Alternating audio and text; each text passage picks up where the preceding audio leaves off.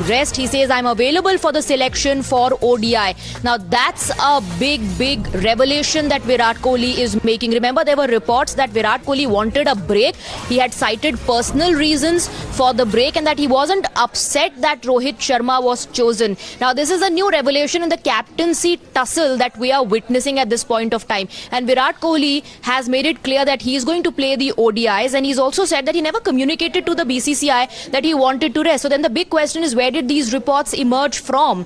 Why was it said that it was Virat Kohli who wanted a break and he had cited some personal reasons? Uh, to take that break, and the BCCI was looking into it. Now, remember, there have been reports coming in that all is not well between Virat Kohli and Rohit Sharma ever since BCCI chose to give uh, the responsibility to Rohit Sharma. Virat Kohli has said that he's available for selection now. So, obviously, now the BCCI has to answer some tough questions. Virat Kohli has said he's ready to play the ODIs, he is available for selection, he did not want to rest, and he never communicated with the BCCI.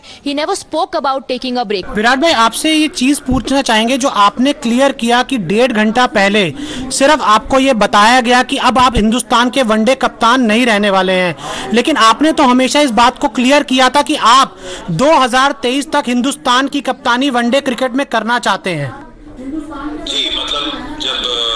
T twenty captaincy को छोड़ने की मैंने पहले BCCI से communicate किया सबसे पहले मैंने बीसीसीआई को अप्रोच किया कि मेरा ये पॉइंट ऑफ व्यू है ये डिसीजन है और इन रीजंस की वजह से मैं ये करना चाहता हूँ तो उसको बहुत एक अच्छे तरीके से रिसीव किया गया उसमें कोई ऑफेंस नहीं थी उसमें कोई हेजिटेशन नहीं थी उसमें मुझे ये नहीं कहा गया था कि आप टी ट्वेंटी कैप्टनसी ना छोड़िए बल्कि उसको बहुत अच्छे से रिसीव किया गया कि बहुत एक प्रोग्रेस स्टेप है और सही डायरेक्शन में है तो उस टाइम मैंने कम्युनिकेट किया था कि जी हाँ मैं ओडीआई और टेस्ट में कंटिन्यू करना चाहूँगा अनलेस की ऑफिस बेरर्स और सिलेक्टर्स को लगे कि